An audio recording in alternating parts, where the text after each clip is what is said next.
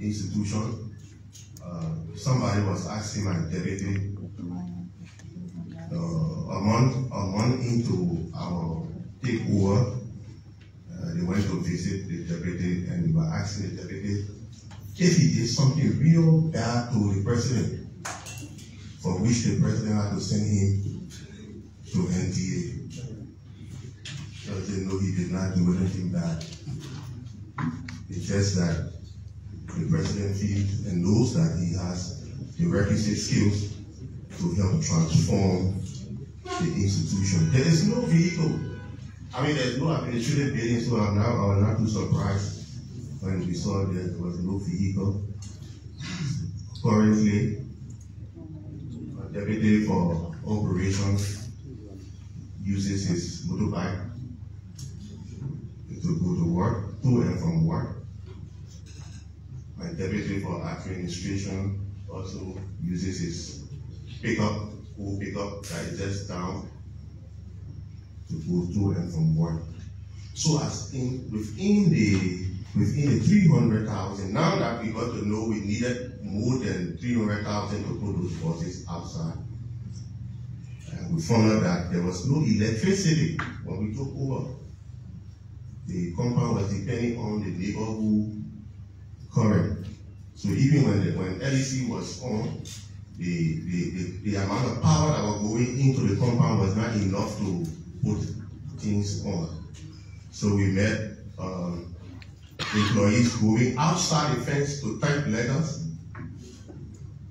And every other thing that, uh, that was linked to documents preparation was done outside of the perimeters of the National Transit Authority. So we negotiated with some vendor. In fact, it was almost like a crime to come from NTA and go to vendor business to talk about getting uh, an item on credit. Immediately they ask who's the person, where's the person from? They say NTA. They say we don't want to see you here if you don't want trouble. Uh, basically, that's how that's how the business community have been treating NTA. And I don't hold them responsible because that's how the past people treated the business community. So it, it was a, it's a, tough time for us. And I think I will commend, I will commend the commerce minister. So we had we had a discussion and we're discussing the problem. And he said, look, I mean, see, talk to somebody, the person will give you uh, it's a 20 kVA generator that you will use to solve some of your problem. But remember, you have to pay back. I agree, and so a week after, the deputy got there and he got the 20 kVA generator. So that's how we got power back into the National Transit Authority. We begin payments on that on that um, generator, and everything that we are doing, we are doing it on the five buses we met there. Everything that we are spending that I'm talking about, but we we put into place preventive maintenance so that the five buses are trying to put additional buses on the route, we cannot lose the, the five buses. So what we are raising from running those five buses are what we are using. We have made the first payment against the generator of 3,000 plus. At the end of this month, we make the second payment and then subsequently the last payment. So since the generator is 20 kVA and as the only person in the whole Republic of Liberia that could grant NTA a line of credit, we took the 20 kVA. So in this 300,000, we factor in a 100 kVA generator to help the repair process and a pickup, a people to allow the technical people respond to breakdown. So that's that's that's constitute the 300,000. And uh, PPCC have granted us the right for the spare parts. We are set out bids for the pickup and the generator. I think by the 28th of this month, we'll be opening the bid to give the contract out for the supply of the generator and the generator and the pickup.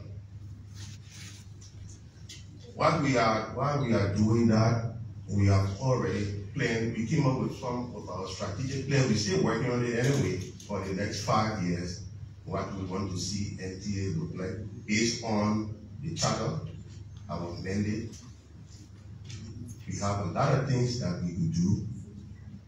So we started discussion with some group. Uh, sometimes people talk about NTA about to receive 300 buses. That's, that's a group we call Marco Polo. Marco Polo is a Brazilian company and they have their sales representative from West Africa in Ghana.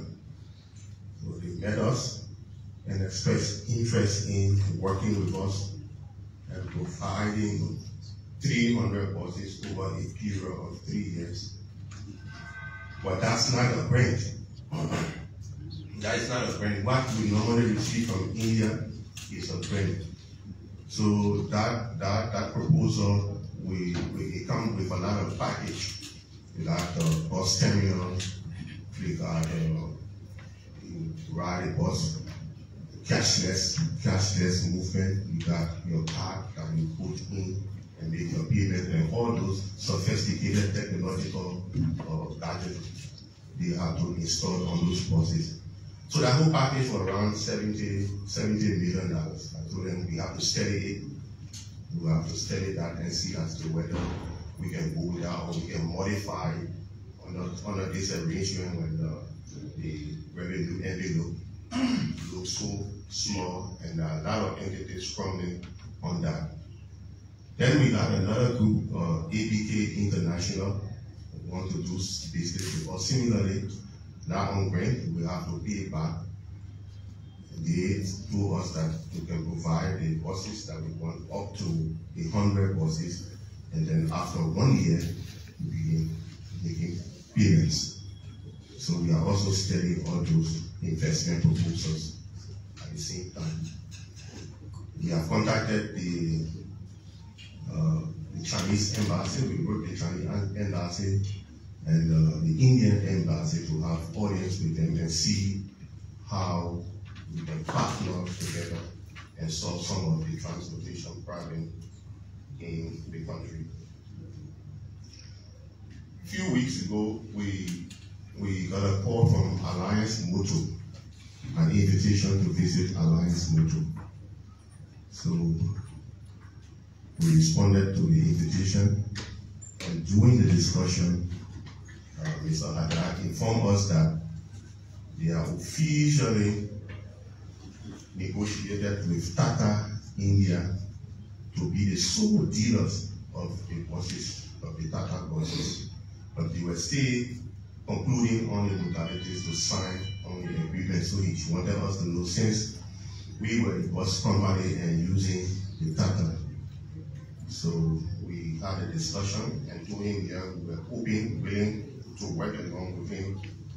And then just two days ago, he called to let me know that Tata has offered him three buses currently in Coast.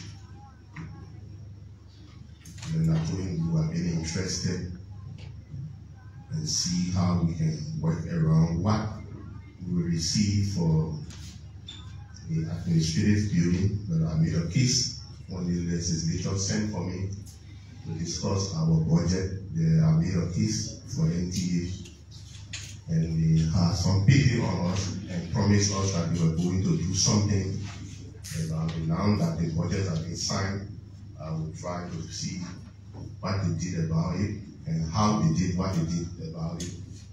And then we can start negotiating that. Because currently, currently we have an emergency. We have an emergency. Uh, the police, uh, the, the motorbike union agreed on some restrictions, and the restrictions started yesterday, but we observed that uh, the movement of people to and from work was slow. Yesterday, we, out of the 29 buses, while waiting for the pass, we repaired three of the 29 buses in addition to the five that we had already, so eight. So um, operations, uh, people put three of those buses out yesterday. Uh, this will help reduce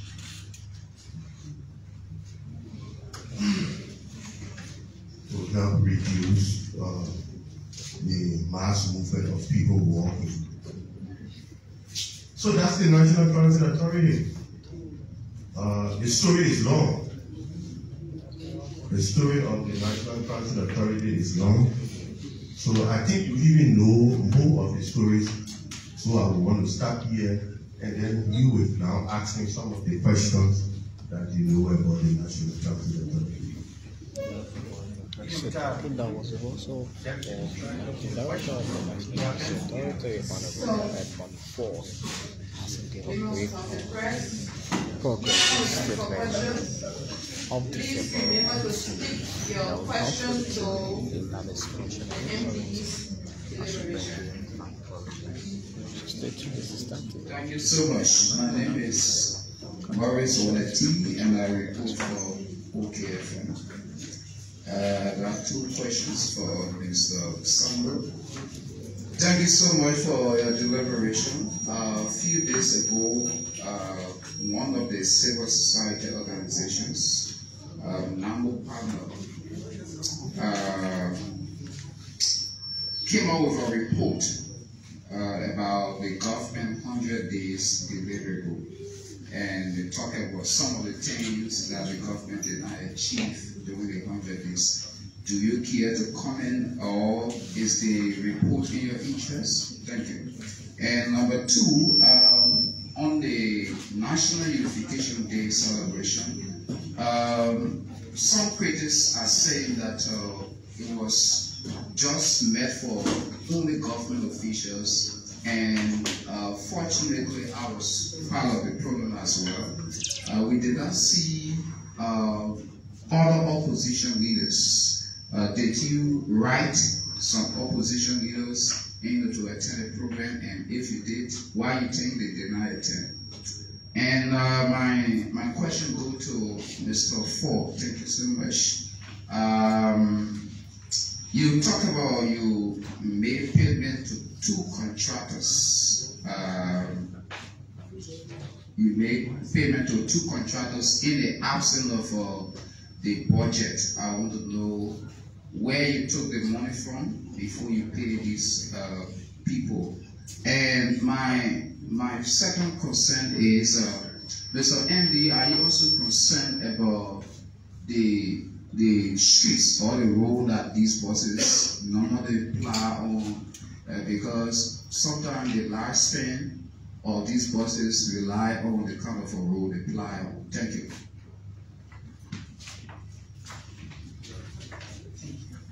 Thank you. My name is Simano Bofolo and I was hired. All right. Okay.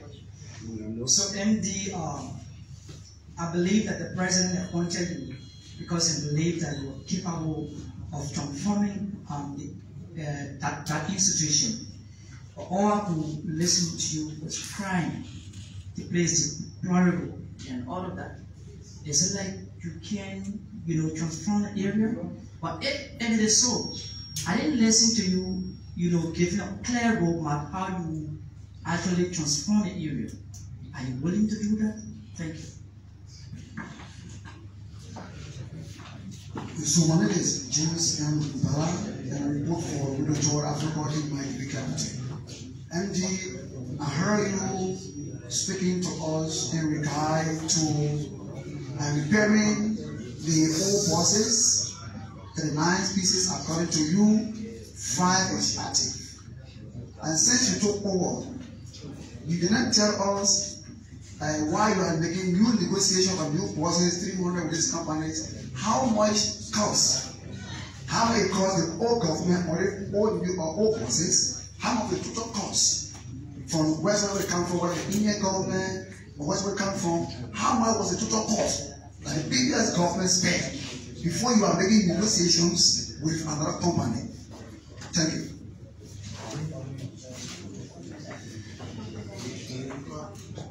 My name is I have one question for the MD. Uh, talk about trying to fix of the buses so that at least to add to the bottom five. My question is, Silverside Joseph has some buses. Sometimes the buses will also park in the NTA yard. Are you making an arrangement or uh, talks with him to see whether he can put buses back on the road because like you said, I mean, since the stopping of the motor plan, uh, the get car to move for passenger is very high. I even talk with Silver Joseph for his buses. Thank you. So we have three, the empty can answer and we continue. What What is your take? Last, yes, My name is Moses B. and I write for the Purity News. Uh, my question goes to AMD. Uh, the few buses uh, that are currently useful, I mean, why are they currently using? Uh, in which county? Because I have from one county, uh, we don't see any of them there, so I want to know where are they? Okay, thank you very much. My name is Kura Thompson, and I report for the Chube Independent Legal Newspaper. I have just a question, and it goes to Minister Stanley.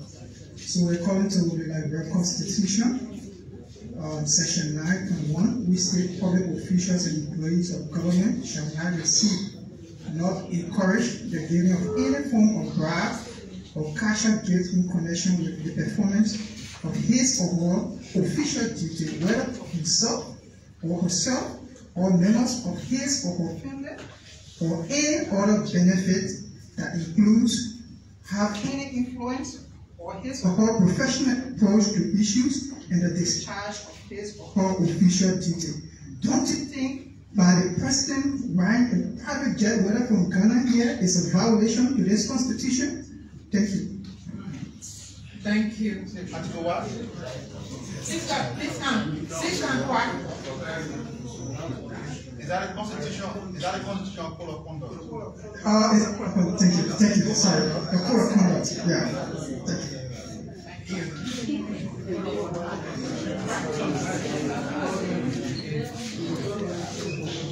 now on M14. All right, so, sorry, I didn't get all the names, but I got the question.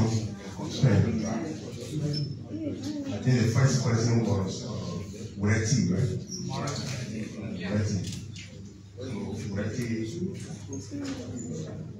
Weti talked about two contractors, no Weti, I never said two contractors. I said two sets of contractors. The first, the first were seven persons. And those, those seven persons, contract were terminated by past administration. But they did not pay them off. Are you getting me? They gave them part of the money. And the balance that they were owing them was nine hundred and eighty-eight thousand Liberian dollars. So we settled that. The second set of contractors were fourteen that we met there, that we terminated the contract and paid them off. That's two million seventy-one thousand, uh, let's that, I mean Liberian dollars. That's the Road condition, yes, we are concerned. We are concerned there's a lot of problem with the tires on and off the side of the road. So when, when the when the, the Japanese were building the Japanese freeway, they consulted us. We worked along with them, Airmark, bus stop. So you see, some part of the road is indented. And that, that, that, that portion of the road will allow the bus to park. So we are concerned because it affects the tires of the second question, are you able to transform? Yes, I'm able to transform NTA. Why? I was with NTA. When NTA was the only government institution that paid its employees every two weeks, we instituted that. As established the internal audit department at the National Transit Authority. And I became the first risk management and compliance manager, reporting directly to the board of directors of the National Transit Authority. When I'm talking like this, I know what MTA was before. And I went and see what MTA is. You can transform. MTA is not just to the ground, MTA is under the ground. We are leading from under the ground. This is why in two, in two months, 16 days, we were able to solve all of these problems. And without more, we solved them. So we are capable and have a capable team to work with. Very capable team to work with. And we revamped NTA. The cost of the buses, the cost of the buses we met there was donation, but donation have cost. So I, I hope the accountants that were there at the time, the cost those buses. When we were there, the buses that we received from India, one of them was 72,000, like the United States dollars. So if you receive 40 buses, you get multiply them by 72,000. I was not there when they received this, I don't know what's the cost of the Tata buses. What we received at the time was Ashok Laden buses. St. Joseph. St. Joseph is a private businessman. I don't have any authority over what St. Joseph does, but does not. St. Joseph got his bosses. How? I don't know. What he intends to do with them is none of my business. Except, except if I list some portion of the Liberian Lord, fine. Then we come, I can go to St. Joseph and tell St. Joseph why he's not putting his bosses on the road or not. It is the responsibility of the government to support the National Transit Authority so the National Transit Authority can carry on its mandate to the Liberian people.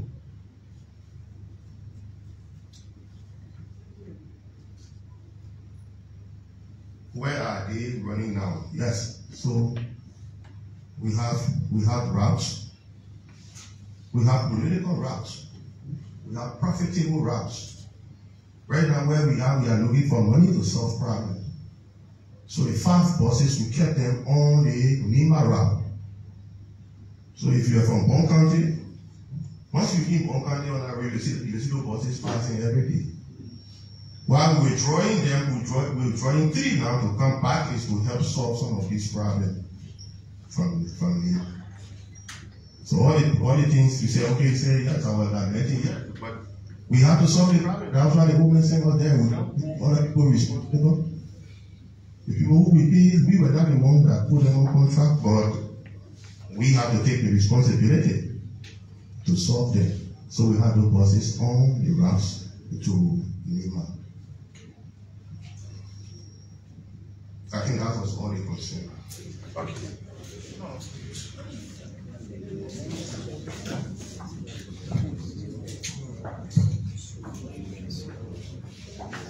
Morris Weti. Yeah. So there was a question that the budget had not yet passed. Where did that? Where did we get the money from to solve the problems I'm talking about? I said we were managing five, we met five buses. In two months, 16 days, we ran those five buses, and the proceeds that we generated from those five buses, we solved problems with them. Hope that is explicit enough to address a concern. What is moral fatigue? Morris, the government, the Liberian public has received what NAYMOTE published. It says their own assessment of the president's 100 day deliverable. The first thing we have to say is that the whole thing about 100 day deliverable is an offspring of the government. The government is the custodian, is the implementer of what portion of the actionable plan that was executed in the 100 days, which we call the deliverables. Right? So the government will speak to the press. The government will speak to the press on the president's 100 day deliverable. We are working very closely with the MFDP. They provided funding for all the projects. So in matter of days, you will hear from the government on the 100 days. But the government also appreciate that civil society organizations will follow what they do. But what the government will also require of those civil society organizations is to be very accurate in what they say. Because it borders on the reputation of the government. Why was released by now? We don't know where they gather the information from because some of the things we have seen on the list were not included on the president's 100 day deliverable. But this is not any way to say that we don't appreciate what they do, but we also require that they be very accurate what they. Because if the, if the, the, government releases the actionable plan and what we achieve on that tomorrow, and you compare that with what now have published, there's a very big variance. And so I don't delve into it. I to greater extent is inaccurate, but we cannot we cannot say they shouldn't do what they do. They do what they do for because they have obligations to their to their I mean their private donor. So they did their work. But judge the government on the basis of what the government released to you. And again, ask every member of the press to just be a bit patient. The government will do that as maybe in a matter of days. So this whole thing about who scored this one, who scored this one, can be put to bed. Uh, you talk about our critics. What was the second question? What put upon But our critics say the unification day was squarely for government officials. You know, People will always be where they want to be. The government can, it's not a job of the government to force opposition to go to a tent program. The government, as a representation of the people, the Liberian state, organized a national event. All of the people you consider main opposition figures, they were invited. But if for reason best known to themselves they decided to come to the program, should the government cancel the program? Get cancel the program. It was a state event organized by the Ministry of State, Ministry of Information, Ministry of Foreign Affairs. The Ministry of Foreign Affairs Protocol Division handwrote invitation. They printed the invitation. They invited these people. Why they chose not to come is a subject of contention. We can't cancel the program because somebody who thinks that the country should not move, should not make progress because they are not president, is not there. They do that. So, to satisfy your concern, they were invited, but they elected not to come. And this speaks to a greater extent about the mindset that they have. Don't forget now, the past administration never organized any occasion for unification day in this country. For six years, the entire concept of national unification and integration was downplayed. So today they see a government that is very responsible and is very concerned about the historical past of this country, a government that is concerned about the future of this country, organizing a unique occasion like the unification day. They say we can't go there because when we're there we didn't do it.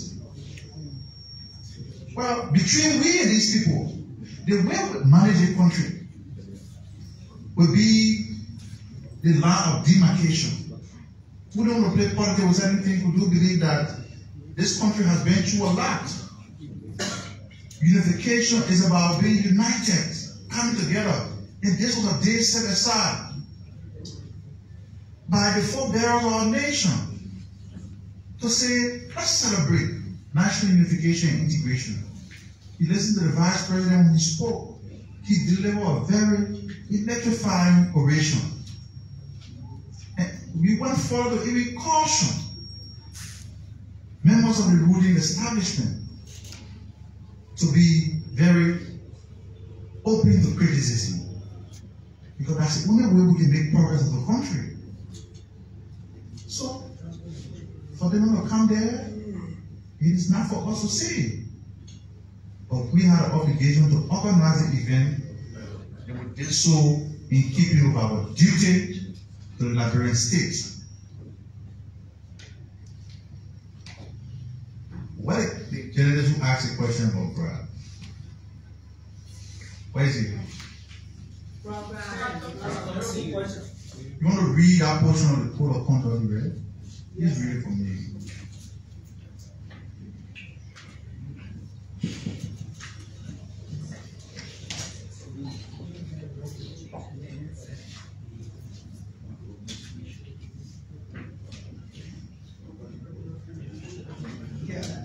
So section nine, section nine point one states, public officials and employees of government shall not receive nor encourage the giving of any form of bribe or casual gift in connection with the performance of his or her official duties, whether for himself or herself or officials or members of his family or her family or any other benefit that could have any influence or his or her personal approach to issues and the discharge of his or her official duties. Okay, thank you. So, the, the character of the code of conduct is very clear. It's public officials, any individual shall not. Did he say that the Republic of Liberia cannot get favor for a sister of the country. Uh, uh, this, this is a country to country When the president of the country is going to another country, in the country that requesting a presidency, eh, Liberia has limitations in several aspects. We have limitations. Other countries have stable economy. They have stable electricity. They have better roads. We are a country that is lacking in every aspect of social and economic advancement. So if the president of the country is requested to go on a bilateral trip to assist other country, Liberia does not have a private jet, and that country has a private jet, the president will facilitate your travel here. And you call that bribe. You call that bribe. So the two scenarios are just similar. The law is referring to individuals the president is making representation on behalf of the Republic of Liberia.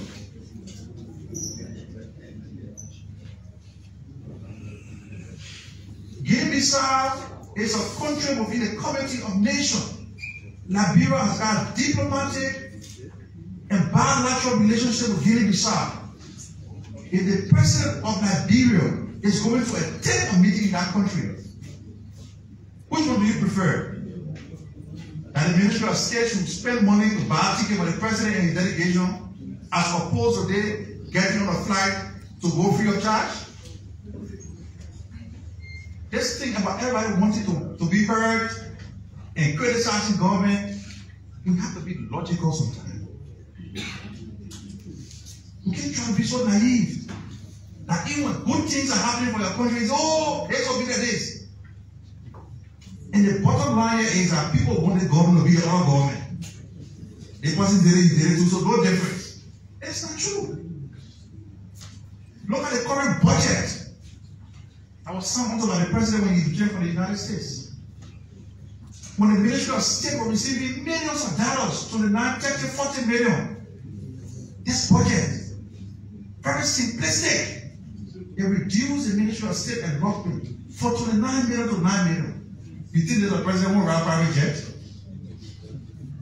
The president, the budget come from the executive, they reduce the enrollment of the first day from many million to I think 200,000 or 300,000.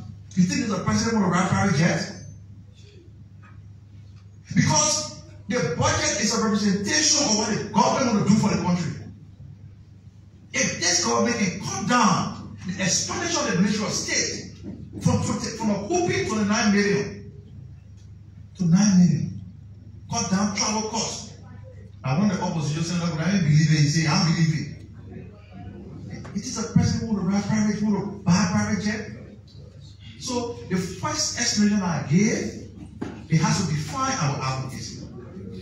If the president of the country goes and acquire a private jet for his, for his personal use, this is a problem because it costs the country a whole lot. But when the Republic of Liberia is invited to a bilateral meeting, and that meeting, that trade is being facilitated by a sister country, what's wrong with it? So you are the critics, you have to choose. You are simply telling us that you want the country to keep spending money on foreign travels as opposed to saving it. Because let's take for example, the president came from Liberia to the United States for the US Africa Summit was paid for by the Ministry of State. The president traveled from the United States to Guinea-Bissau to Liberia was settled by a sister country. Which one do you prefer? And the bigger resources we have, our country will use everything on foreign travel in the name of not going to be seen as riding private jet. People, let's be logical sometimes. So the president does the right thing, the government does the right thing. If you don't have anything to say, just shut up. You don't have to criticize everything. Closer.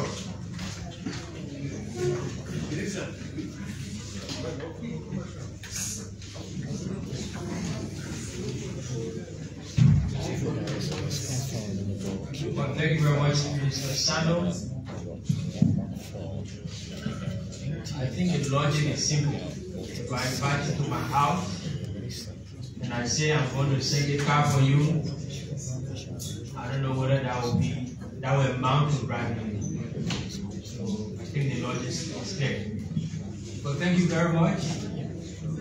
Uh, distinguished media colleagues, uh, we always appreciate your presence uh, at the Ministry Information Regular Press briefing. Uh, today is Thursday. I think we will adjourn and reconvene next Tuesday.